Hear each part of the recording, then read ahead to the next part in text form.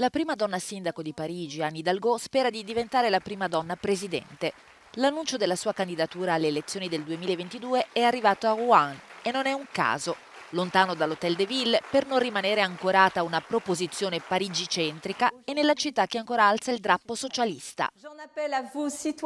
Faccio appello a voi cittadini, a quelli che vogliono salvare il pianeta, a quelli che vogliono costruire una repubblica forte e giusta, a quelli che vogliono che la Francia torni ad essere un modello di nazione.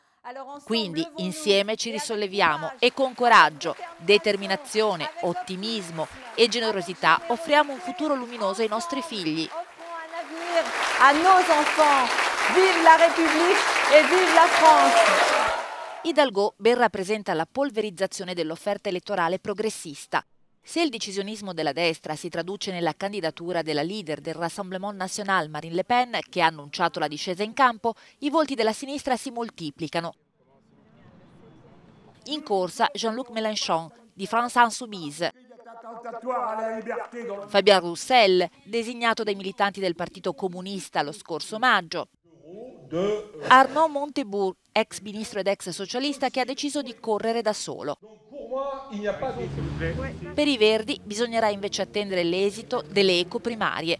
Uno dei cinque candidati parteciperà alla competizione elettorale del 2022.